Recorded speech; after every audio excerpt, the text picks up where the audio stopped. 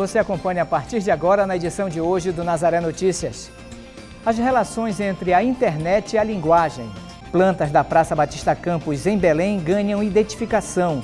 Missa marca a abertura da campanha da Fraternidade 2015. Agricultores de Anapu discutem a questão agrária no município.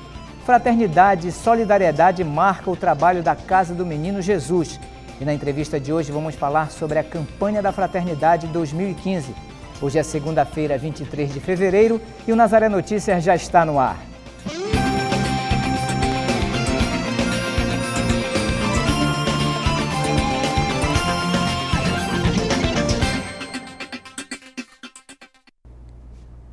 Começamos o Nazaré Notícias de hoje falando de internet.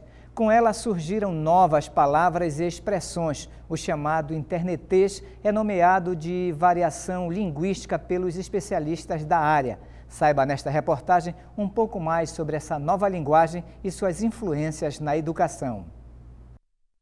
Nos sites de relacionamento, mensagens via WhatsApp e e-mails, é comum encontrar palavras abreviadas e expressões novas. São linguagens simplificadas usadas para acompanhar a velocidade da internet. Essa variação linguística é chamada de internetês. Para falar do internetês, aqui no, nos estudos linguísticos, nós buscamos embasamento lá na sociolinguística, que é um ramo da linguística que estuda variacionismo. Né? Então, a gente não entende que tem só uma língua portuguesa padrão. Existem variedades dessa língua. E o internetês é uma manifestação desse tipo, é uma variação linguística que a gente chama, né? Com o advento da internet, com todas essa. com a, a rede, as pessoas se comunicando, interagindo cada vez mais, seria comum é até normal, porque a língua é um organismo vivo, as pessoas, principalmente os jovens, né, acabassem criando um tipo de variedade para utilizar, né, para interagir entre si. Por usar muitas abreviações, há preocupação de alguns profissionais quanto ao prejuízo na língua portuguesa. Os alunos, não é como qualquer, suje, qualquer sujeito da comunidade linguística, utilizam já a fala, não é? Então, o internetês, que é considerado uma modalidade nova de escrita, mas com, com influência da oralidade, né? tem um estudioso dentro da linguística chamado Markuski, né, que ele diz, sim, tem uma interferência aí. A oralidade interfere muito na escrita. Então, se o menino escreve isso na redação, não é porque foi influência do internetês, mas influência da fala, né, que ele já utiliza na comunidade dele. Se há influência, o erro não é do aluno, o erro é da escola. Porque a escola é que tem que promover ah, novas situações de aprendizagem, porque nós temos novas situações de comunicação, para que o aluno saiba utilizar essas variações linguísticas de acordo com a situação em que ele estiver interagindo. A língua portuguesa está em constante transformação. O internetês é apenas uma das muitas variações linguísticas. O importante é entendê-las e criar novas metodologias. O importante, como eu falei antes, é que ele saiba utilizar. Ele saiba que na prova, na redação, em documentos formais, em documentos, mesmo outros tipos de documentos mais informais, mas que não são característicos do espaço cibernético, ele tenha que usar outras formas linguísticas, né, outra variedade. Quando o professor trabalha isso, ele está trabalhando no sentido de formar aquele sujeito que os PCN preconizam, que é aquele sujeito linguisticamente competente. O Ministério da Educação abre hoje o sistema informatizado do FIES para os novos contratos. As inscrições poderão ser feitas até o dia 30 de abril. A portaria com as regras para a inscrição foi publicada hoje no Diário Oficial da União. O governo vai usar indicadores de desempenho e de qualidade da instituição de ensino superior para liberar o financiamento. O site é cisfiesportal.mec.gov.br. Estão abertas as inscrições para o curso de poesia A Voz Selvagem, que será ministrado por Antônio Moura no Centro de Experimentação e Pesquisa Artística e Cultural do Pará. Caroline Guimarães tem mais informações. O curso é voltado para todos os interessados em poesia. Para falar sobre ele, está aqui ao meu lado Célia Jacó, que é diretora de artes da Fundação Cultural. Diretora, muito obrigada por conversar conosco. O curso inicialmente oferecia 20 vagas, mas agora, devido à demanda, a procura aumentou.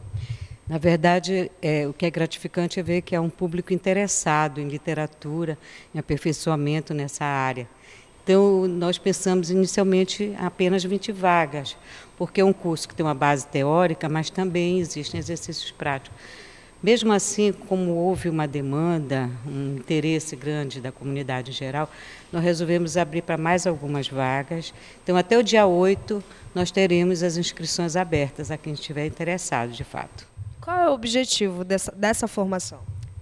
A fundação ela tem, uma, uma, um, tem um elenco para vários cursos dentro das áreas específicas de cada arte. Né? Na arte literária, nós temos uma intenção neste curso fazer um aprimoramento. Uma, uma capacitação não seria, mas mais um aprimoramento de pessoas que já lidam com, com o texto literário, que têm interesse nele e que querem aperfeiçoar esse fazer literário. Então, ele é destinado tanto a escritores como a poetas, as pessoas que já trabalham com a palavra nesse sentido, como aqueles que estão interessados também em discutir a poesia, a literatura na sua essência, que com Antônio Moura é uma coisa que se dá de forma muito gratificante, muito no nível bastante elevado e, e interessante. Agora, quando inicia esse curso, até quando vai, qual é a carga horária dele? Ele, o curso é de 9 a 12. Tá? Então, na verdade, nós temos um curso de 12 horas, com direito à certificação, contanto que o interessado tenha 80% de frequência. Aí, é, dependendo desta, desta, desta presença, deste interesse, esse curso será oferecido novamente outra oportunidade. Ok, professora, muito obrigada por suas informações. Lembrando que quem quiser realizar as inscrições, elas seguem abertas até o dia 8 e deve vir até aqui na sede do IAP, que fica próximo à Basílica Santuário Nossa Senhora de Nazaré. Caroline Guimarães para o Nazaré Notícias.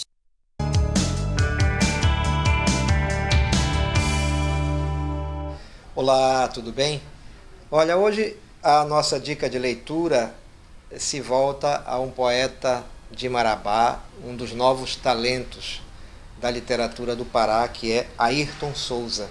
Ele lança este livro, Os Rios que Somos, pela editora Literacidade. Faz parte de um projeto chamado Tacaiunas, da Biblioteca Pública de Marabá. É, o livro é um livro que surpreende pela beleza, pela forte amazonicidade e a demonstração de um poeta que já sabe o que quer, que sabe poetar e coloca as águas e os rios amazônicos bem na temática do seu trabalho. Assim é que eu recomendo a vocês Ayrton Souza.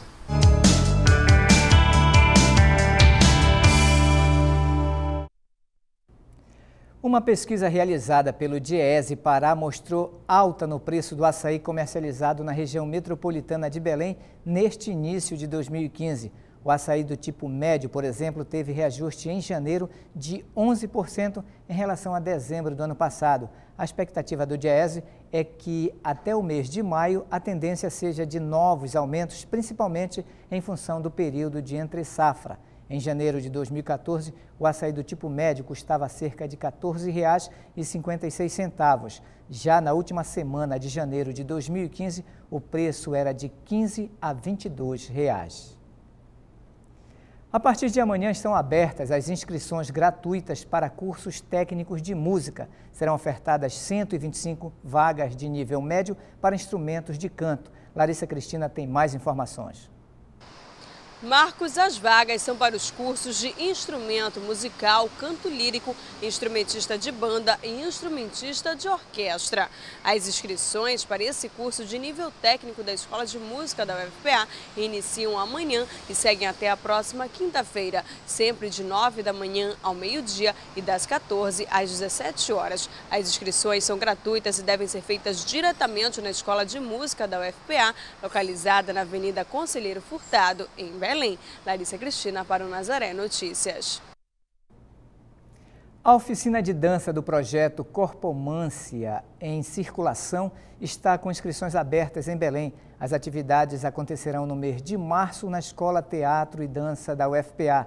São disponibilizadas 40 vagas. Para se inscrever, os interessados devem enviar um currículo para o e-mail corpomanciabelém.com gmail.com. Frequentadores e visitantes da Praça Batista Campos, aqui em Belém, agora podem ter informações sobre as diferentes espécies de árvores presentes no local. 40 árvores receberam placas de identificação na Praça Batista Campos, em Belém. Nelas, é possível obter informações sobre a espécie em dois idiomas, português e inglês. A ação faz parte de um projeto piloto da Secretaria Municipal do Meio Ambiente em parceria com a Companhia de Informática de Belém. Em algumas praças e logradouros públicos em Belém, a Secretaria Municipal de Meio Ambiente mantém uma equipe de manutenção diária. E esses nossos funcionários constantemente eram abordados pelos visitantes, principalmente turistas, no sentido da obter a informação se aquela árvore era de fruto, de flor, se aquela árvore crescia, qual a espessura.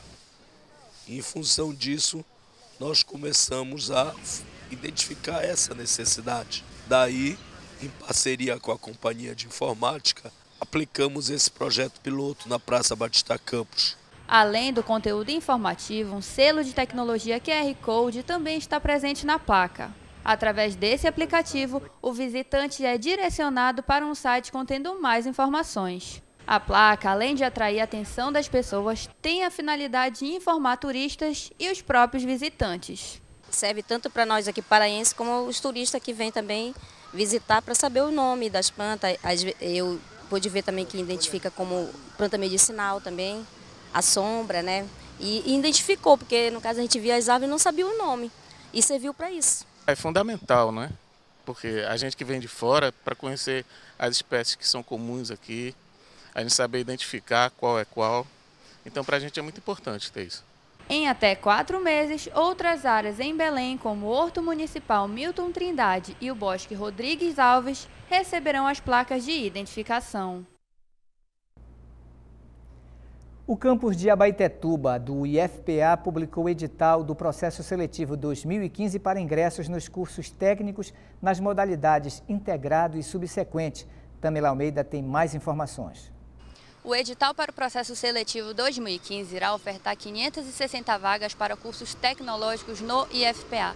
240 delas estão destinadas para cursos integrados ao ensino médio, com duração de 3 anos e meio, e 320 vagas para cursos subsequentes ao ensino médio, com duração de um ano e meio.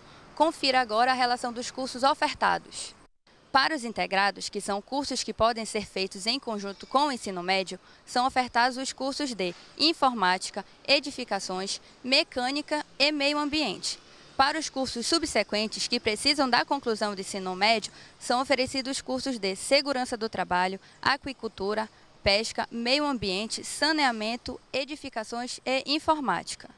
Do total de cada curso será ofertado 50% ao atendimento de sistema de cotas e 5% para pessoas com deficiências. As inscrições podem ser feitas até o dia 5 de março através do site www.ifpa.edu.br.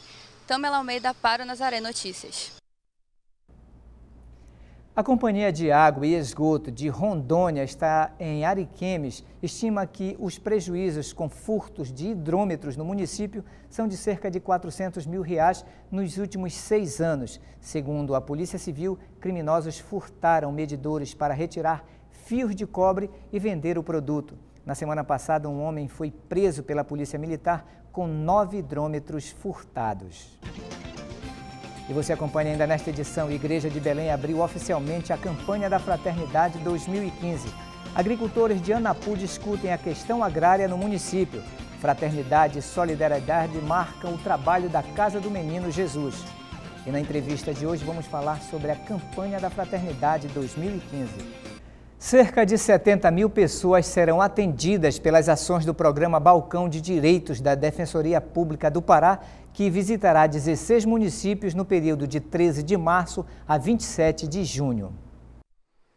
O Balcão de Direitos busca desenvolver ações de cidadania junto à população que necessita. A expectativa é de que sejam atendidas 1.200 pessoas por dia. Serão emitidos documentos como primeira e segunda via da certidão de nascimento, também carteira de identidade, carteira de trabalho, CPF e o atendimento jurídico nas áreas de família e civil. É importante lembrar os municípios que receberão atendimento e os dias em que esse atendimento acontecerá. Confira.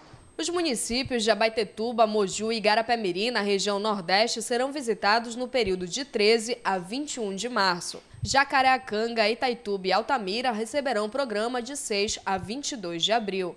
Já os municípios da mesorregião do Baixo Amazonas, Óbidos, Prainha, Monte Alegre e Almerim serão visitados no período de 1 a 18 de maio. A ação de cidadania chegará também a Anapu e Pacajá do dia 21 ao dia 29 de maio. No período de 3 a 14 de junho será a vez de Porto de Mós e Gurupá, na região da Transamazônica. Finalizando a programação, os municípios de Tomé Açu e São Félix do Xingu receberão o projeto entre os dias 17 e 27 de junho. Caroline Guimarães para o Nazaré Notícias. O horário de verão em vigor desde o dia 19 de outubro termina a zero hora do próximo domingo. Os brasileiros que vivem nas regiões centro-oeste e sul e sudeste deverão atrasar o relógio em uma hora.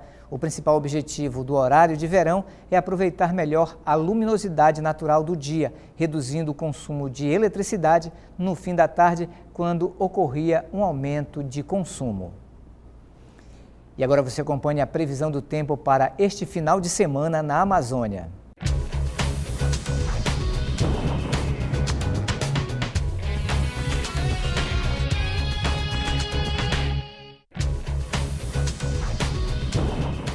Na capital maranhense, o tempo será parcialmente nublado e com pancadas de chuva. A temperatura mínima pode chegar a 25 graus e a máxima a 33. No município de Paragominas, no estado do Pará, o final de semana deverá ter muita chuva e trovoadas. A temperatura mínima fica em 22 graus e a máxima em 28. Em Rio Branco, no Acre, os próximos dias serão de pouco sol e possibilidade de chuva passageira. A temperatura mínima é de 22 e a máxima chega a 32 graus.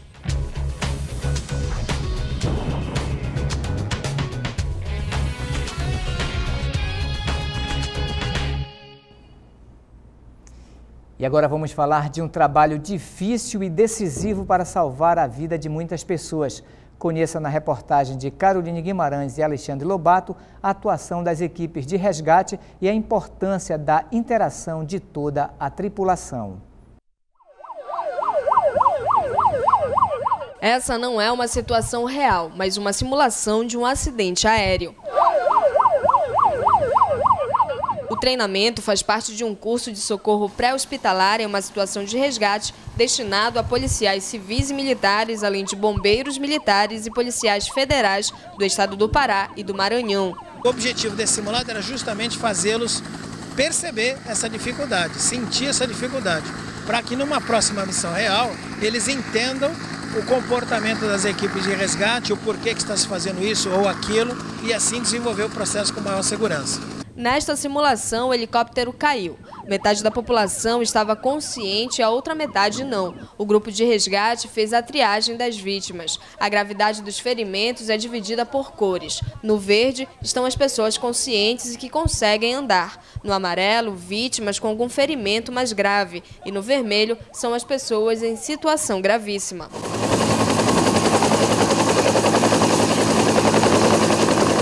O sargento Soeiro nunca participou de uma situação real de resgate, mas hoje garante que está preparado. Eu consegui absorver muitas coisas importantes né, na área do resgate aéreo. Embora eu sirva no Exército Brasileiro, mas a gente também possui esse tipo de resgate, mas no momento não está disponível na nossa área. Então eu fui voluntário a vir aqui e aprender algo mais com o pessoal da Força Aérea. Para quem realiza o trabalho de resgate, o curso garante ainda mais confiança. A gente agora, além de atuar como piloto, como tripulante, né, a gente pode também auxiliar o médico e o enfermeiro nessas situações aí, para, para dar uma, uma assistência melhor às vítimas. As equipes treinadas aqui atendem todos os tipos de acidentes que acontecem no estado do Pará. Até ontem pela manhã, 16 mil candidatos já tinham feito a inscrição ao processo seletivo 2015 das escolas tecnológicas do Pará. O prazo para inscrições se estende até domingo no site www.seduc.pa.gov.br. São ofertadas 6.440 vagas em 118 cursos de 18 escolas tecnológicas estaduais. O mais procurado é o de segurança do trabalho, com 34 candidatos na disputa por uma vaga. Com a implantação de grandes projetos, há um crescimento desordenado nos centros urbanos. Comunidades locais passam a sofrer restrições e aumentam problemas relacionados à saúde e segurança. A concepção de desenvolvimento aplicado à Amazônia traz consequências enormes. Um lugar repleto de riquezas, cheio de especificidades e características peculiares. Nos anos de 1970, a Amazônia foi vendida para o mundo como uma região rica em recursos naturais e com grande potencial para exploração. O discurso dos governos militares para a ocupação da Amazônia era de uma terra sem homens para homens sem terra. Começou naquele momento uma ocupação desordenada da região e a implantação de grandes projetos com o discurso do desenvolvimento. O mesmo vivenciado hoje que traz diversas consequências para a região. O processo do chamado desenvolvimento, em geral, traz consigo uma exploração intensiva de recursos, agravando impactos ambientais e sobrecarregando os espaços. Estes efeitos ambientais das práticas econômicas ditas de desenvolvimento, em nome de produção de bem-estar ou de criação de emprego, renda, receita pública, têm é, distribuído de forma desigual os benefícios e os danos. E os danos ambientais, via de regra, são concentrados sobre as populações mais despossuídas, os grupos sociais de menor renda, posto que são eles que se fazem menos ouvir nas esferas decisórias sobre que tipo de desenvolvimento, que tipo de projeto, é, que estratégia de localização dos empreendimentos. O que se percebe é uma distribuição desigual de benefícios e problemas. Populações locais passam a sofrer diante de um intenso processo de esmagamento causado pelo modelo desenvolvimentista que enxerga o ambiente físico-material como algo a ser explorado. Quando elas são comunidades que estão localizadas muito próximas aos projetos ditos de desenvolvimento, é que elas vão sofrer pela sobrecarga é, de populações que são atraídas para esses trabalhos e, e uma atração que é súbita, volumosa, é, numa condição, em geral, de infraestrutura muito pouco adequada para receber esse volume de, de novos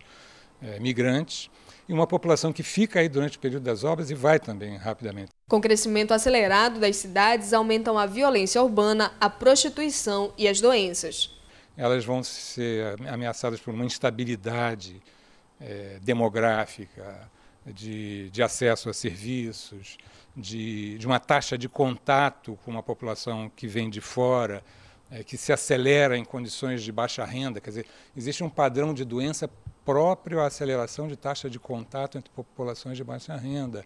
E o sistema de saúde tem que estar preparado para essa é, epidemiologia específica, né?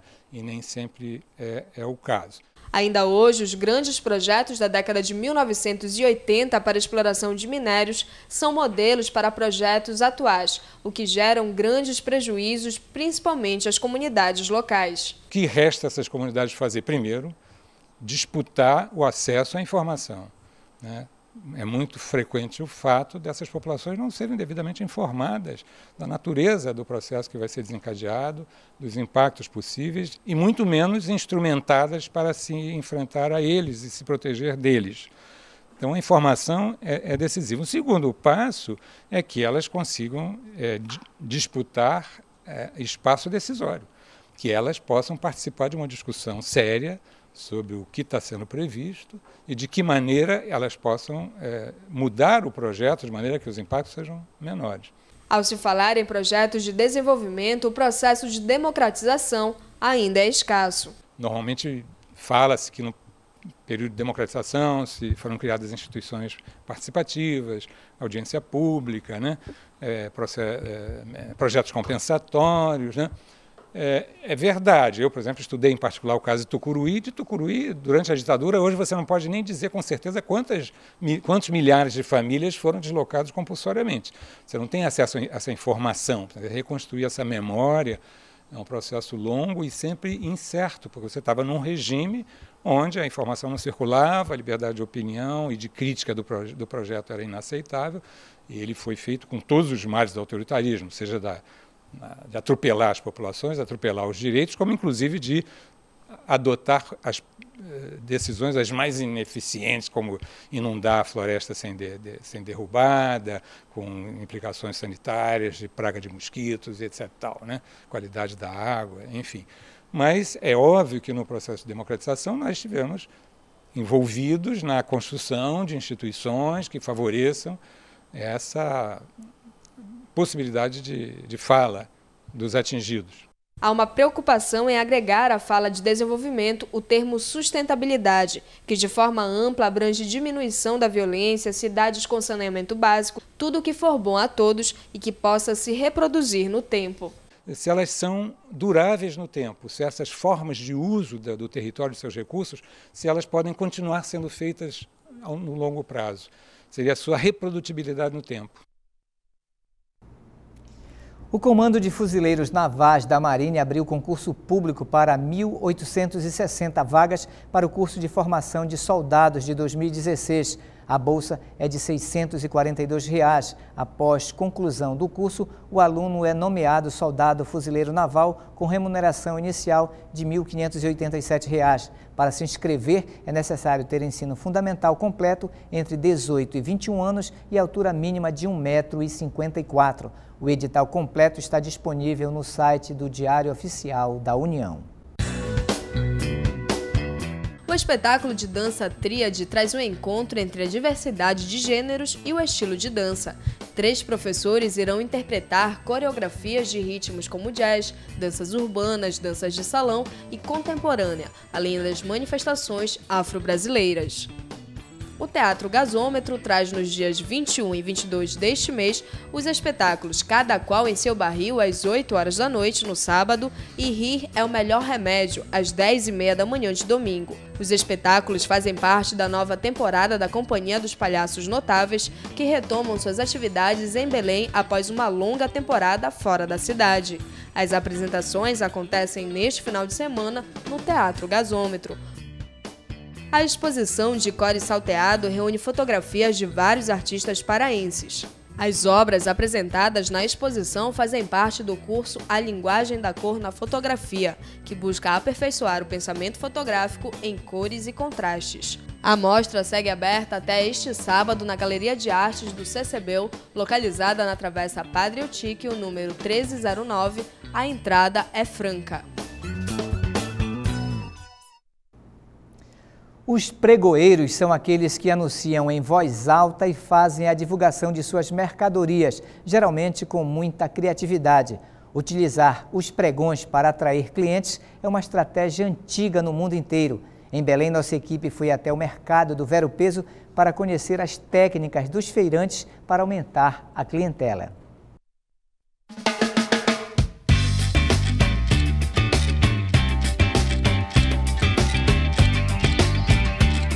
Vender é uma arte, dizem os especialistas em mercado. E em um ambiente como este, onde o concorrente está ao lado, realmente é preciso ser artista.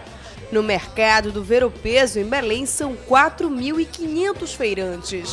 É dia de feira, quem quiser pode chegar. Um real, maço grande do cheiro, um real. Por aqui encontra-se de tudo e muito. A feira tem 12 setores comerciais. As bancas de hortifrutis são mais de 100, porém, esta aqui vive lotada. Atendimento 100%, aí volto sempre. Aí é por isso que é assim, de cada mercadoria um pouco, para ficar sortido bom que chama a atenção da rapaziada. A simpatia do feirante cativa os clientes. Um pacote é dois e três é cinco. Muito bom, muito simpático também. Isso é importante. Lógico, para o vendedor é essencial. Com a exótica gastronomia paraense, fica mais fácil chamar a clientela. Afinal, não é preciso muito para vender peixe com açaí, o ícone da culinária do Pará. O que chama mesmo é a qualidade. Aí já vem as pessoas, já vendem, já pegam, já, já perguntam. Isso aí, é como... aí quando vem turista de fora, isso aí como é que come? A gente fala, tudo, explica tudo bonitinho para eles. Além das iguarias, a feira traz um pouco da cultura popular. No Ver o Peso não é difícil vender um produto, e sim lidar com a concorrência. São milhares de feirantes que por dia disputam pelo menos 5 mil clientes que transitam pela feira. No setor de ervas é preciso além de criatividade para vencer a concorrência. É uma concorrência horrível aqui mesmo. Se a gente não for esperto, a gente não vende. Mas o que vale, que Socorro Loura tem 29 anos sentada nesse banco e eu pudesse até uma rede na minha banca e dormir. Eu conquistei freguês assim, chamava os freguês. Diga freguês, aqui é Socorro Loura, tudo no desconto. E coisa especial de primeira é o freguês veio. Junto com os feirantes, os clientes do Ver o Peso ainda são disputados pelos ambulantes. O vendedor de importados chama a atenção utilizando o próprio produto e não para de demonstrar nem para dar entrevista. Eu faço propaganda, entende? propaganda aí é aqui, no raquete, entendeu? Vendo barato porque eu posso, meu pai é o dono, eu sou o sócio, entendendo? Só o filé para comer de colher e assim vai, entendendo? É. Aí vai levando o dia todo aí nessa promoção. Neste ringue capitalista de bordões, trejeitos e bom humor, ainda encontramos Cena, um motoqueiro irreverente que utiliza um método próprio para fazer propaganda. Eu queria a minha própria tática, né? que às vezes tem é, é, lojas no lado, eu digo assim, não é para lá, é para cá. Eu digo, não é para lá, é para cá. O patrão enlouqueceu da cabeça, baixou tudo. Porque tá levando um samba de novidade. Compre duas, leva uma de ganho.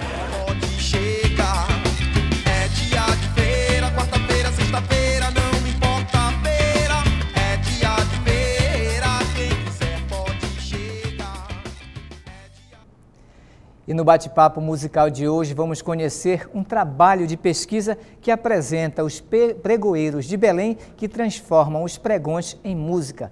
O grupo Quaderno é o nosso convidado e quem conversa com Alan Carvalho e Cincinato Júnior é Larissa Cristina.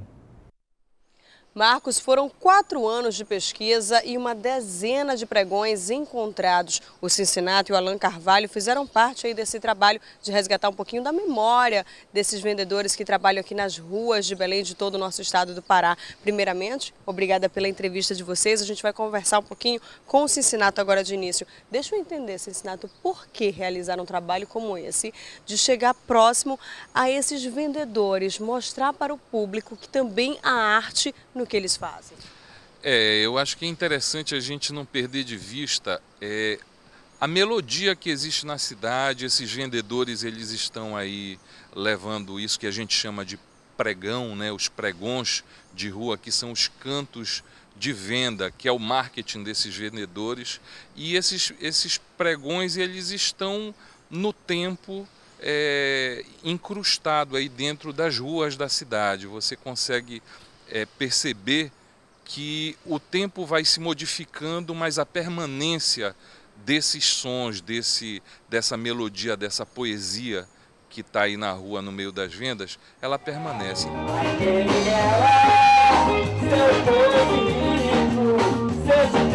É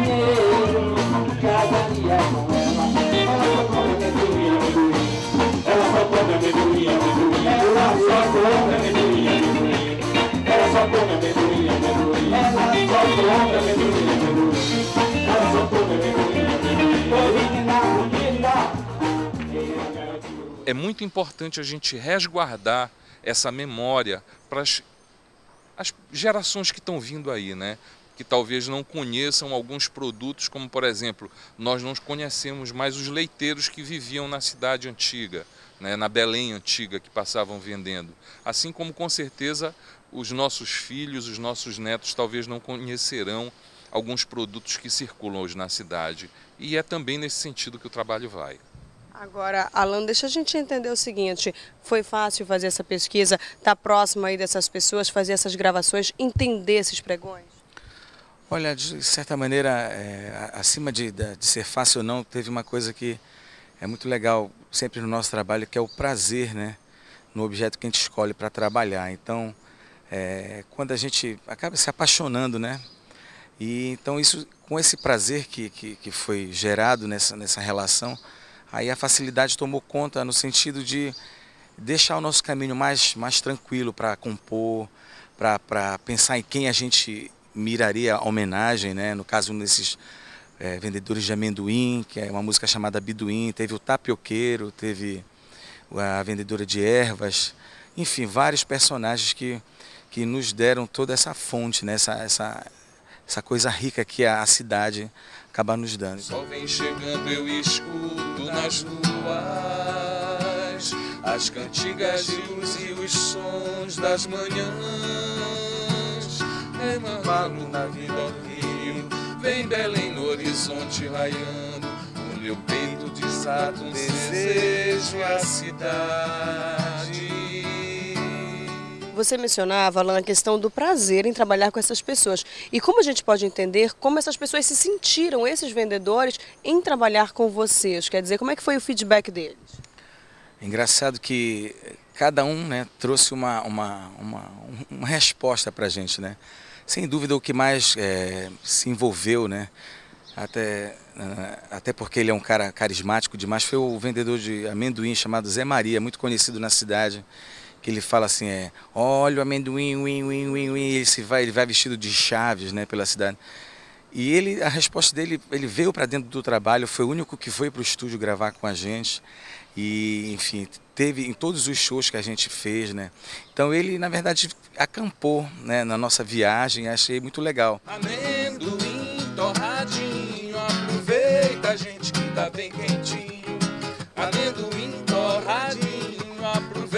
aproveita, gente, que tá bem quentinho. Então quer dizer que se o público quiser conferir os shows do Quaderna, a partir desses pregões, já está por aí, circulando na cena de Belém? Já, nós temos já um show marcado para o dia 14 agora é, de março, aqui no Sesc Boulevard. Nós vamos estar com, com esse show sendo apresentado totalmente grátis, portas abertas, né? Vamos ter também um show na universidade que falta apenas marcar a data. A Universidade Federal do Pará, nós vamos fazer o lançamento lá também. E a partir daí nós estamos com uma proposta de circular com, com esse mesmo show é, menor, sem sair com a banda inteira, mas num alguma coisa mais é, é, pequena, né? um pocket show que a gente possa circular, sobretudo em mercados, feiras livres, é essa a proposta. Né? E levar de volta a música de onde nós fomos beber essa música. É um bocado isso que a gente está afim de fazer agora. Hum, tá certo. Obrigada, Cincinato. Obrigada, Alan Carvalho, pela entrevista de vocês. A gente lembra que o Nazaré Notícias de hoje ele vai ficando por aqui. Quem quiser assistir esse bate-papo e todas as reportagens que foram ao hoje, pode entrar no nosso portal Nazaré, que é o www.fundacionazaré.com.br. A todos um ótimo final de semana e a gente se encontra na próxima segunda-feira. Até lá.